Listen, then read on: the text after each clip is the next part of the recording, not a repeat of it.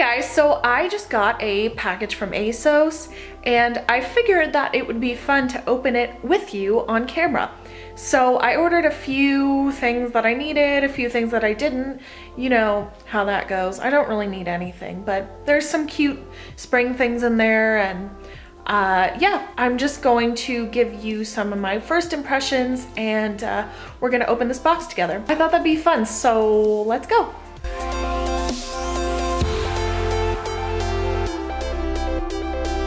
Okay, so here we have the box and ta-da, here's the stuff I ordered. In my opinion, ASOS has the most fashion forward clothes.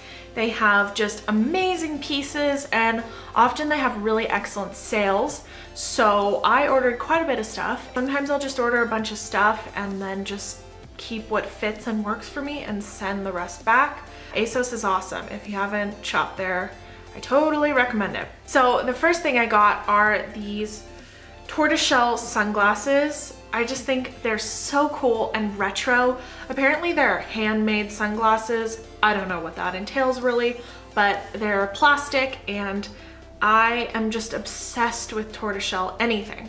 And specifically for summer, I like this pale kind of tortoiseshell. These came with this little case as well, which is nice. These just kind of make me think of like Miu Miu glasses or something. The only thing I'm worried about is the width of them. They look like they might be a little bit narrow for my face, but I don't know. That's why I don't want to try them on for you. Okay, moving on.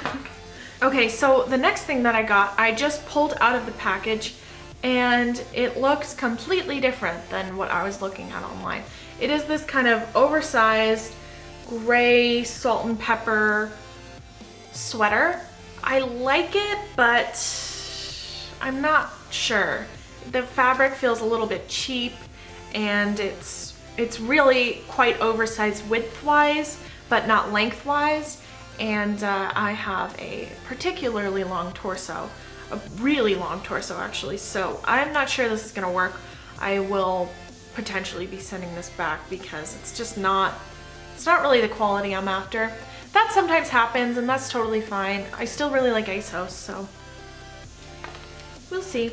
I love this like marled gray or salt and pepper. I think it's just so versatile. Next, I got this bag, which I have to say, okay, this is why I got this bag. I carry a large camera everywhere I go pretty much and this is basically the only type of bag that really comfortably fits my huge camera. Uh, these like mini duffel bag kind of things. I really like them but here's the thing about this. This is more purple than it showed on the website and I don't know, it's definitely like a little cheaper feeling. So I have a feeling this is going back. Uh, so far, not much success really, huh? I wanted to try this for so long. I think it's, I still think it's pretty, but for the price, I don't think this, I don't think so. The next thing I got is just really basic. It's, I've just wanted one of these for a really long time, like one of these uh, baseball shirts. I think they look really cute, especially with like a big necklace or something.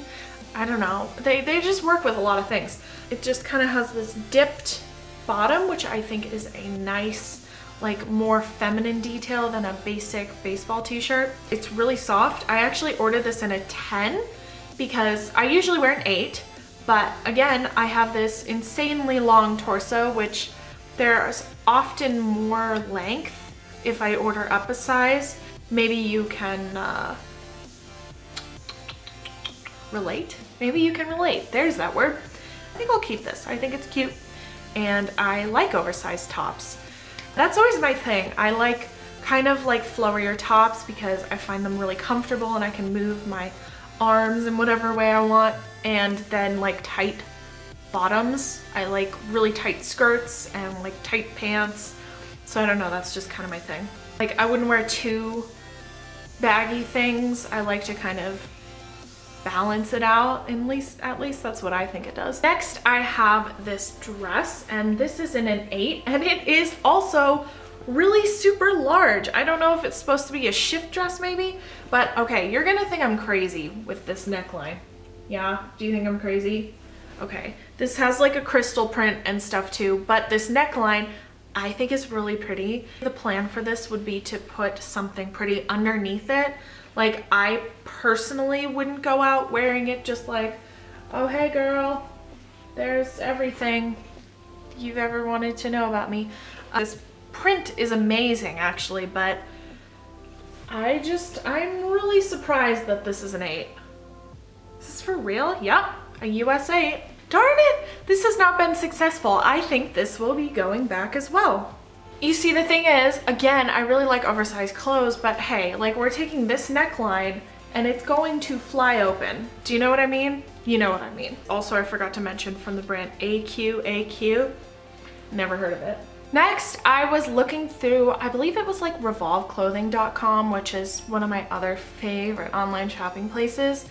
And I saw this top from the brand Tibi that was a halter and it was pink and it was just nicely structured and I liked that the halter was just a string to here almost. I found something on ASOS for way cheaper than Tibi's clothes that looked almost identical to it. The only thing that's different is this kind of string bit here was black. It's got also this really pretty detail that's like a keyhole back and it's kind of a racer back, but it folds over like that. It's got like a drop back and a, a shorter front, which is always nice if you are, you know, a human.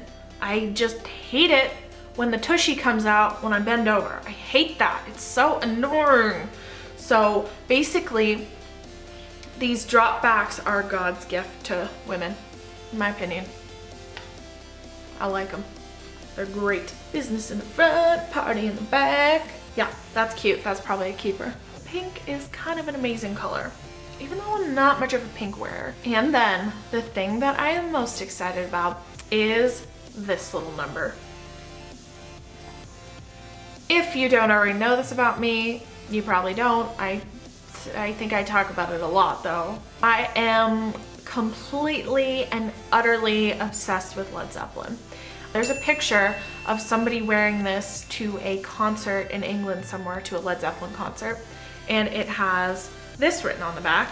I have always wanted that t-shirt, but I wanted it on the front. So One Teaspoon, which is where the shirt is from, came out with a pale blue shirt years ago, in probably 2010, that said Led Bloody Zeppelin, that's who and I didn't buy it and I regretted it forever. It was just so me, like, oh, Led Zeppelin, stop.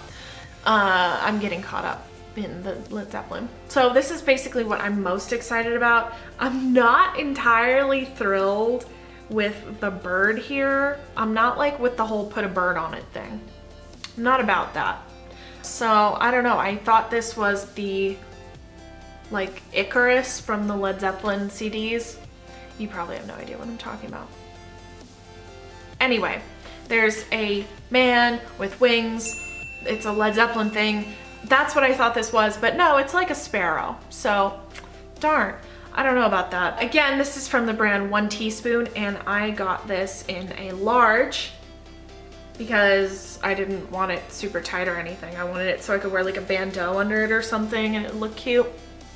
You know what I'm talking about. Anyway, so that is my ASOS haul and really that wasn't very successful, was it? Uh, hmm, uh, that's too bad. But anyway, if you were looking into buying stuff from ASOS, I think even though this wasn't entirely successful for me, maybe it will make your shopping experience a little more successful because you will know a little bit more about the sizing and the materials of some of the stuff on their website. So I really appreciate you guys watching. I will have a correlating blog post on my website about this. And uh, if you would like to subscribe, no pressure, obviously, you can do that. I make a video every week. Anyway, if you want my contact info, it's down below. I will try to link all of these uh, pieces that are left on ASOS. Maybe you saw something you like, maybe you saw something you wanted to take note on. It'll be down below.